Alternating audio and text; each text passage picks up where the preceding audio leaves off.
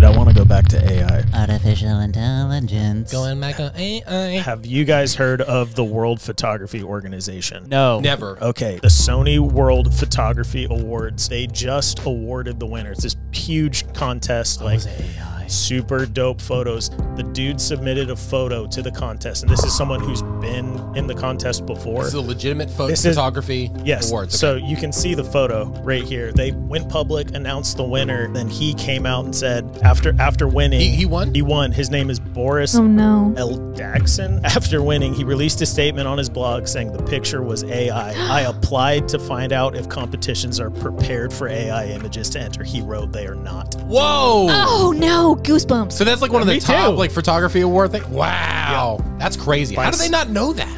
How do like how does it not Sony detect it? puts it on and didn't catch it. Wow, Wow. it's getting Man. it's getting weird, man. I hate It is.